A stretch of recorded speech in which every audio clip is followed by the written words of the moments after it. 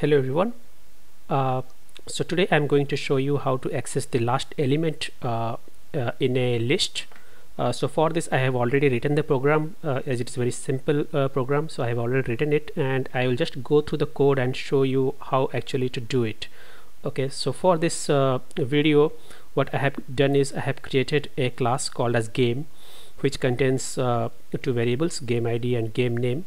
So this is the constructor uh, and this is another constructor which has a parameter. This is a parameterless constructor and this is a constructor having two parameters called as game id and game name. So when you create an object pass these two uh, values and initialize the variables. Okay? So I'll show you how to do that.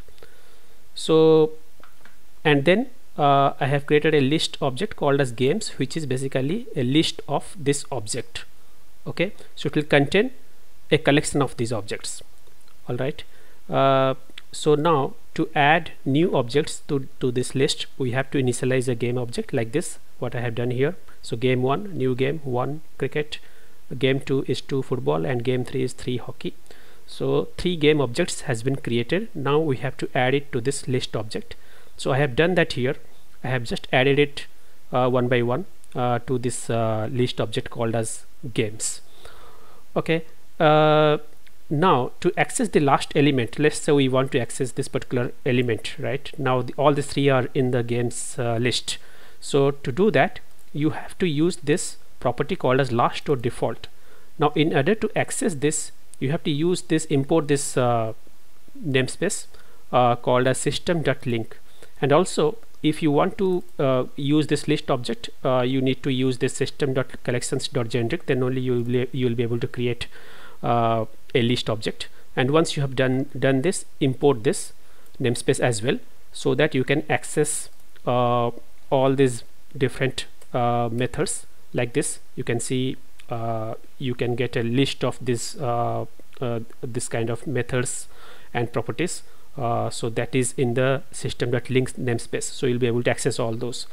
So once that is done so what I have done here is I have just uh, created a variable called as last item. This will access the list object the last element of that list object and then uh, using and then when you say last element dot uh, you will get both these variables which are inside this game object so game id and game name. And if I run this application so it will print 3 and hockey. So let's run this and see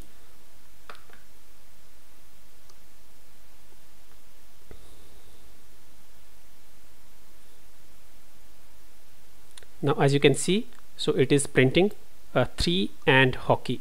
So uh, that's all. Uh, that's how you can uh, you can access the last uh, element.